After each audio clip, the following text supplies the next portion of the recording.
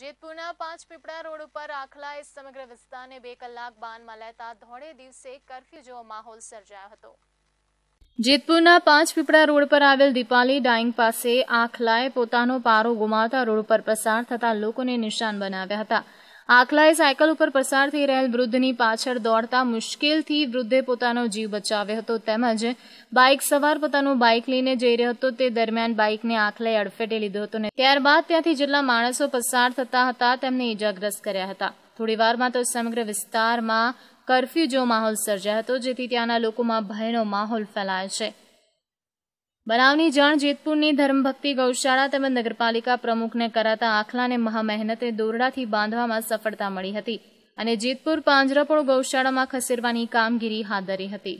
હરેશ બાલિયા સાથે live Gujarat news Jetpur.